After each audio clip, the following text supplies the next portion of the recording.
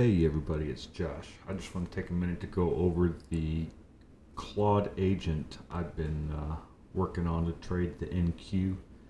It took this short right here, targeting this gap down here.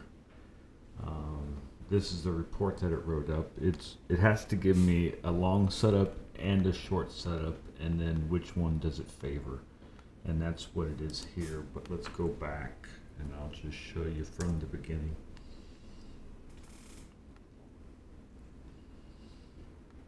So like before, it's scanning all the historical data that I get from NinjaTrader to find the fair value gaps. It's also working on levels. Right now I have it set to 100. I think I'm going to change it to 500. I'm sorry, yeah, 500 to watch out for every 500 points and see how that works. But here's what it's sending off to the agent.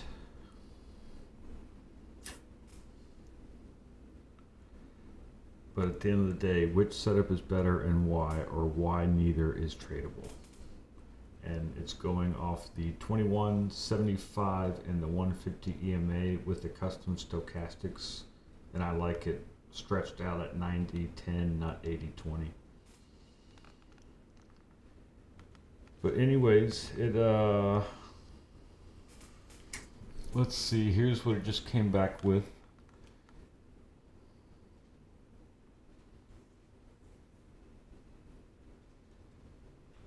Short setup is superior. Discord rally to entry. Market shows critical overbought conditions.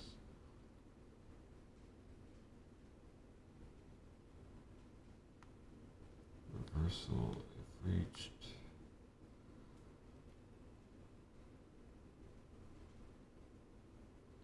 And let's see.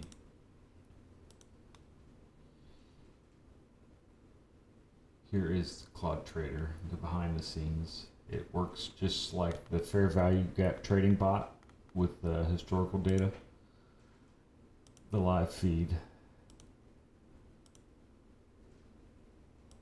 and the trade signals.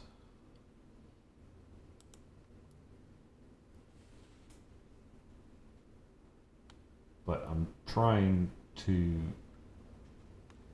basically teach it to trade how I would trade. I this was a gap fill right here. And I would be looking to go short at least back to the EMA after it being away from the EMA for so long. Every time it goes away for so long, it comes back. Gets so far away, comes back.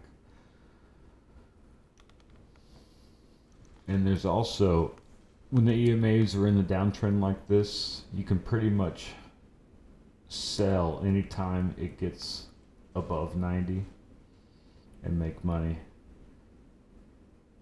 This is questionable because it is over. If I were to switch to a slower moving average like the 200, it would still be under.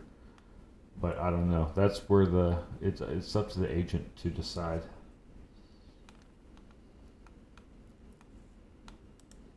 But either way, I'm going to keep working on this for a few days and then I will get it posted on GitHub. Thanks for watching. Bye.